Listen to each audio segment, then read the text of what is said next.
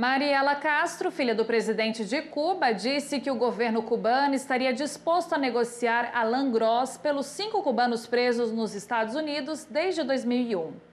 A filha do presidente cubano Raul Castro disse que o governo estava disposto a fazer um acordo. Eles trocariam o americano Alan Gross por cinco agentes do governo cubano que foram sentenciados por um longo período de tempo nos Estados Unidos. Mariela Castro afirmou que os cinco prisioneiros são inocentes e que Alan Gross teve uma sentença justa. Mesmo assim, de acordo com ela, o governo de Cuba estaria disposto a procurar uma solução para não prolongar o sofrimento das vítimas. A esposa de Gerardo Hernandes, um dos cubanos presos nos Estados Unidos, disse emocionada que não espera ver o marido até o fim do ano. Ricardo Alarcon, presidente do parlamento cubano, solicitou que Barack Obama perdoasse os cinco homens e deixasse que eles regressassem ao país. Ele pediu que o presidente norte-americano usasse seus poderes constitucionais para soltar os presos imediatamente.